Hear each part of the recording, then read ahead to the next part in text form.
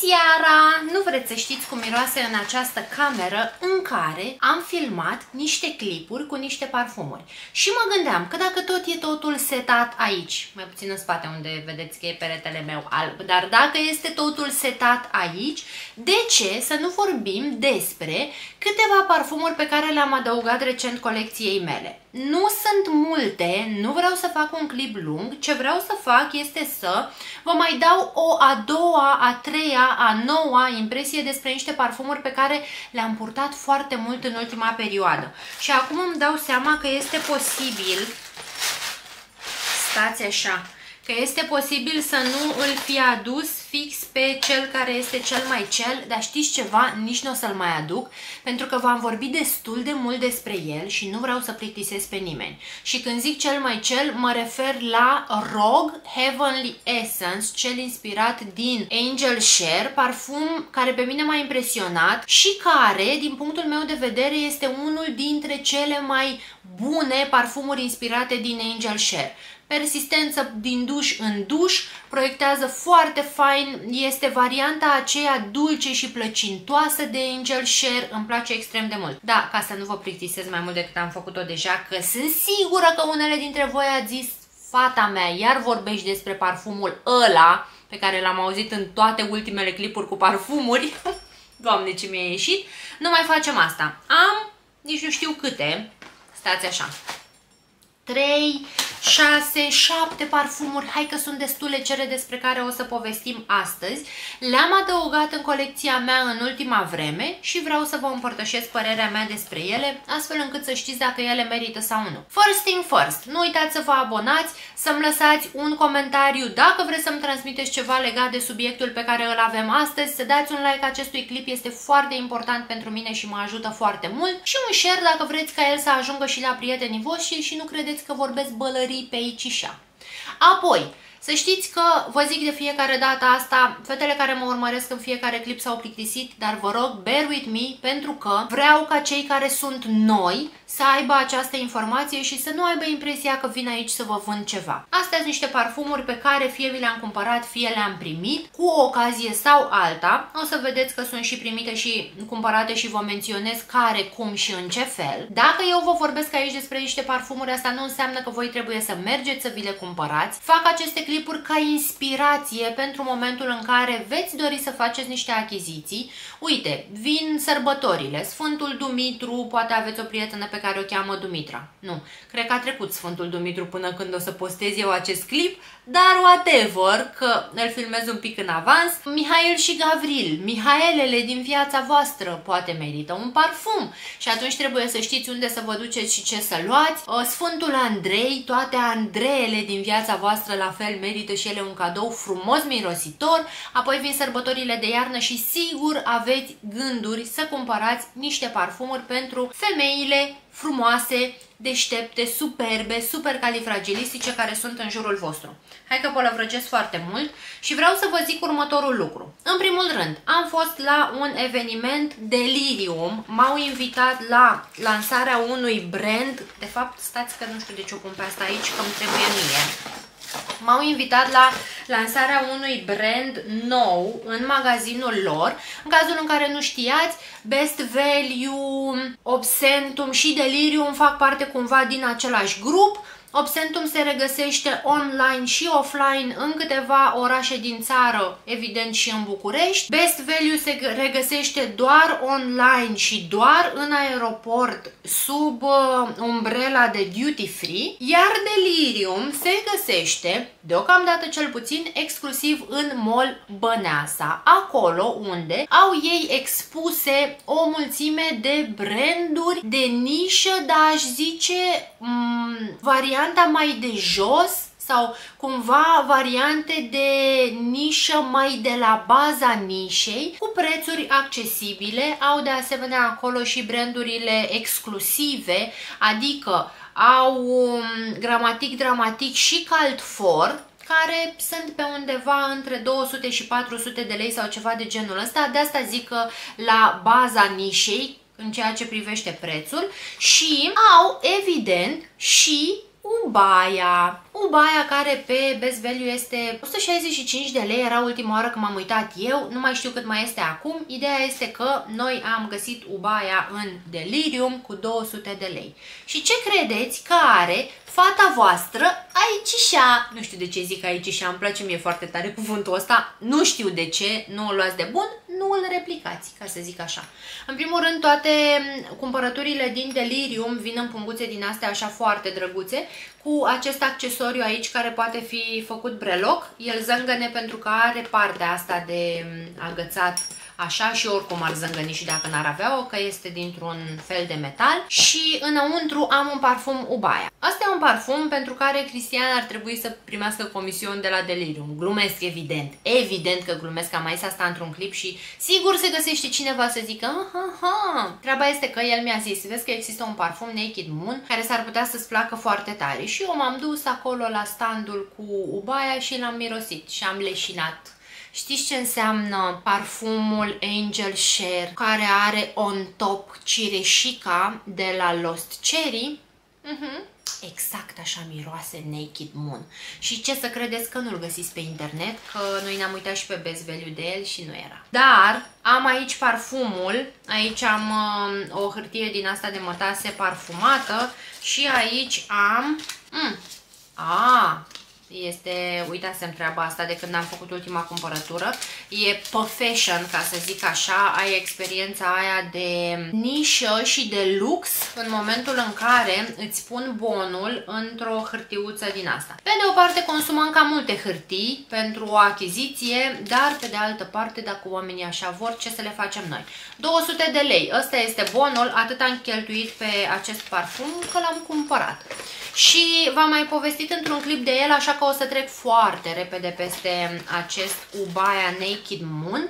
O să vă zic și vouă că el arată așa. Sticla este clasica Ubaya cu coroana asta de rege aici de ce o fi. Naked Moon se cheamă parfumul, este senzațional. Puneți cireașă peste Angel Share și o să vedeți exact la ce mă refer. O să-l port mai mult în următoarea perioadă pentru că vreau să văd cum stă și la persistență. Eu mai am Ubaia în scapă, mai am unul care miroase foarte bine și e foarte persistent. Ah, doamne, pe care l-am. Îmi scapă, în fine, dacă mi-aduc aminte sau mă uit acolo unde le am, vă scriu pe aici pe undeva. Dacă nu, mă scuzați. Vă zic în comentarii dacă mă întrebați. Îmi place foarte tare cum miroase acesta. Nu am apucat să-l port suficient de mult, de e clar unul dintre parfumurile care vor fi abuzate în iarna aceasta. Și atât vreau să zic despre el, sper să apare și pe Best Value la un moment dat, dacă nu apare, sper că sunteți din București dacă vă place parfumul, pentru că altfel n-aș vrea să mă înjurați. Ne-am dus la Delirium, așa cum ziceam, pentru că a apărut, am zis Rul mai devreme, nu mai știu ce am zis, Rul Fragrances este brandul, a apărut un brand nou în Delirium, adică acesta, care se cheamă Rule Fragrances. Am fost acolo la lansare și ni s-a povestit despre brand, ne-au povestit cei care îl au, cum au făcut, cum sunt făcute sticlele și o să vă zic și vouă imediat toate detaliile. El vine așa cu o scrisorică și pe această scrisorică pe o parte avem detalii despre parfum, parfumul chemându-se Amoho. Acum, ar trebui să-l pronunț în franceză și ar fi Amoho. Amoros, zic eu în română motamo. Așa, și este un parfum spicy udi, ceea ce îl face perfect pentru următoarea perioadă. Și aici sunt niște detalii legate de brand și ei spun că oferă un uh, o colecție de parfumuri timeless, adică o colecție de parfumuri care nu se va demoda niciodată și mm, se exprimă ei într-un mod sofisticat și au introdus în colecția asta a lor și o parte artizanală despre care vă povestesc și voi imediat.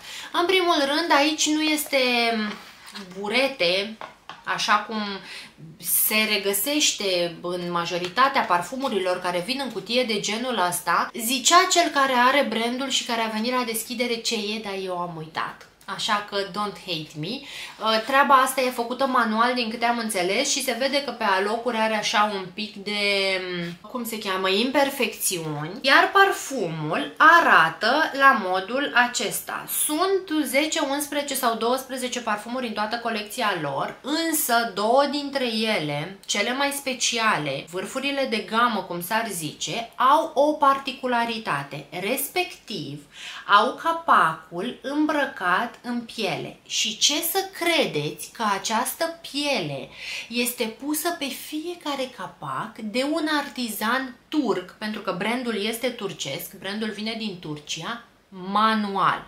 Și chiar am întrebat, bun, dar ce se întâmplă dacă artizanul acesta nu poate să lucreze într-o zi, într-o perioadă, într-o săptămână? Și a zis, e o mare problemă pentru că noi ținem foarte mult la taciul acesta handmade de pe fiecare sticlă. Aici avem o etichetă de mm, hârtie, că nu venea cuvântul, este un extract de parfum și aici sunt 100 de mililitri. Și aș vrea ca pe acești 100 de mililitri să îi dau și eu pe această, uitați-vă și voi ce pulverizator, nu știu dacă îl vedeți sau dacă îmi captează camera mea treaba asta, de un pulverizator sănătos și eu am parfum în gură în acest moment.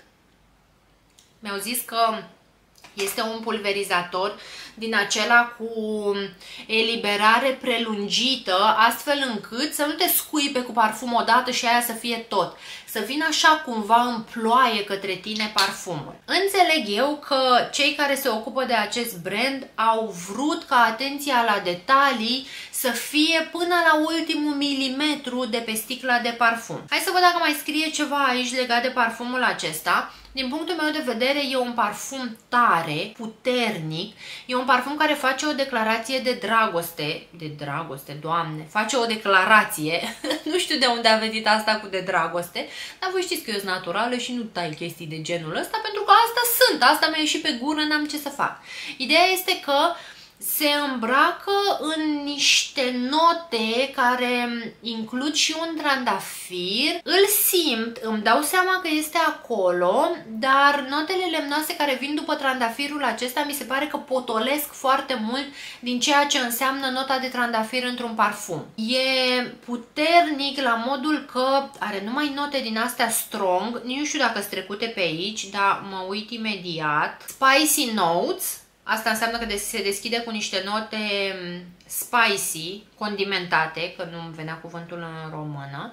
Apoi violeta, iasomia, trandafirul și ilang ilangul vin în uh, mijloc și înțeleg eu că se îmbracă în bază cu notele astea lemnoase. Chiar se simte un vibe lemnos în ceea ce privește acest trandafir, asta făcându-l să fie potrivit și pentru o femeie și pentru un bărbat. Deci este genul de, tr de trandafir, este genul de parfum care poate fi împărțit cu el 100%. Și având în vedere că este atât de exploziv și este atât de declarativ, îmi pare că este un parfum care în perioada rece, în sezonul rece, va fi perfect. Se pare că am vorbit despre parfumul acesta ca și cum ar fi al meu.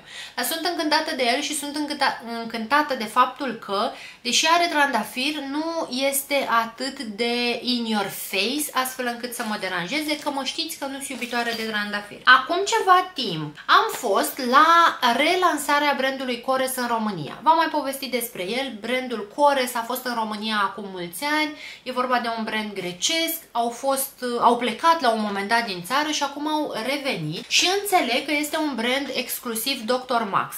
Se regăsește pe Dr. Max și în farmaciile Dr. Max, în hiper hiperfarmaciile Dr. Max, nu știu că acum nu mă mai dau seama dacă vorbesc de un hipermarket de unde mi-au mâncare sau vorbesc despre o farmacie de unde mi-au de toate, că sunt câteva astfel de farmacii care nu se mai termină, sunt efectiv niște hale, cum este Dr. Max din Megamol. Am plecat eu de la deschidere cu acest parfumel. Să ne luăm un moment de apreciere pentru această sticlă minimalistă și superbă în culori de toamnă. Uitați-vă numai aici. Aici șa, o mai zic încă o dată. Vanilla Frija se cheamă parfumul, vine într-o variantă de 50 de mililitri, are bergamotă, ceai, lici, iasomie, piersică și frezie. Sincer, eu sper că am microfonul ăsta pornit, că n-aș vrea să nu am sunet, sper să am sunet, și apoi vanilie, paciuli și mosc. Nu am folosit foarte mult din parfum, nu știu dacă reușiți voi să vă dați seama de aici, dar l-am folosit de câteva ori. Mi se pare că are o combinație, așa cum îi spune și numele, foarte faină de vanilie și frezi. Și se simte frezia. Iar mie acest parfum mi-a adus aminte de mama este învățătoare. Nu știu dacă v-am zis vreodată treaba asta, era ca acum este la pensie. Dar când eram eu mică, mama mea de 1 martie sau 8 martie primea de la copiii din clasă frezii. Că sunt florile acelea de primăvară, sunt uh, valabile, sunt, uh, se găsesc foarte puțin în perioada de primăvară și atunci fiecare copilaj venea acolo cu o frezie, două, trei, ceva de genul, nu două, nu par cu câteva frezii. Și mirosea la noi în casă a frezie o săptămână după 1 sau 8 martie. Și asta îmi amintește mie acest parfum. De asta îmi amintește mie acest parfum. Nu persistă el extrem de bine, dar mi se pare că pentru primăvară, pentru perioada de vară, va fi un parfum foarte fain. De reaplicat într-adevăr, dar mirosul lui este destul de bine blenduit, astfel încât să fie un parfum ușor de plăcut. Mai departe scrie în carte. Mai departe trebuie să vă vorbesc despre Be Delicious de la DKNY. Pentru că, la un moment dat, pe la sfârșitul lunii august, când făceam eu clipurile acelea, story-urile pe Instagram cu Hei, punem un uh, outfit pe, punem un parfum pe outfitul acesta, cineva mi-a recomandat Be Delicious de la DKNY. Și eu nu știam că este un parfum cu măr. Măi, este atât de simpatic acest măr încât singurul lucru care nu îmi place legat de parfumul acesta e că nu prea e persistent. Dar cred că știți și voi că nu cred că e vreun DKNY care să persiste foarte mult. Cel puțin nu pe pielea mea. Uite un disclaimer legat de treaba asta. Dacă un parfum e persistent pe pielea mea, nu înseamnă că el va fi persistent pe pielea tuturor celor care îl folosesc. Pentru că sunt niște factori care afectează persistența unui parfum. Cum ar fi cât de hidratat ești, cât de mult îți dai pielea, cât de mult te dai cu cremă, cât de mult îți dai pielea cu cremă. Doamne, cât de ciudat sună. Cât de mult te dai cu cremă, cât ce mănânci, cât de condimentat mănânci, cât de necondimentat mănânci și așa mai departe. Pe mine, acesta nu este persistent. M-aș bucura din suflet să-mi scrie cineva în comentarii și să-mi spună, hei, pe mine Dichie, nu ai persistă toată ziua. Chiar vreau să văd treaba asta. Altfel, este un parfum care mă face să-mi plouă în gură. Am apă în gură de fiecare dată când mă dau cu el. L-am avut și într-o deplasare la Iași. M-am dat acolo cu el, v-am povestit și vouă despre el un pic. Din păcate nu persistă toată ziua și necesită reaplicare, dar e parfumul acela vesel de vară ce te transpune într-o livadă cu mere suculente, aromate, parfumate și cum mai vreți voi. Îl am pentru că v-am ascultat, de fapt v-a ascultat Cristian și nu mai știu de unde veneam și m-am trezit cu el, mi-a zis, vezi că ai un cadou acasă, cred că chiar de la Sofia, din vacanța aceea și mi-a zis, vacanță, am avut o deplasare la sediul companiei și mi-a zis, um, ai un cadou. Și o dat, nu, doamne, nu, sunt bătrână și senilă, jur. Sunt o tânără mai de demult senilă.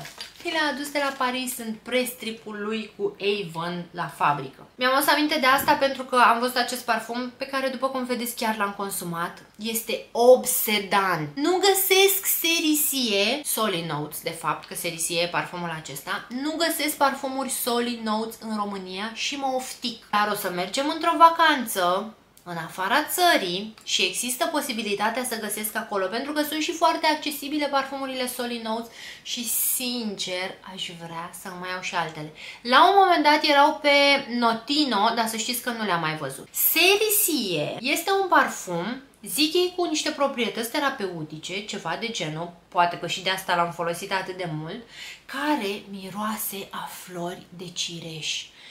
Sincer, Sincer, vă zic cu mâna pe inimă că de fiecare dată când mă dau cu acest parfum, am senzația că sunt în Japonia, unde n-am fost până acum, în parcurile lor pline de cireși, dar am senzația că sunt acolo și în jurul meu sunt doar cireși. Și sunt toți înfloriți și roz și superbi și sincer abia aștept să ajung în această viață, în Japonia, să mă plimb printr-un parc din acela într-o zi de mai.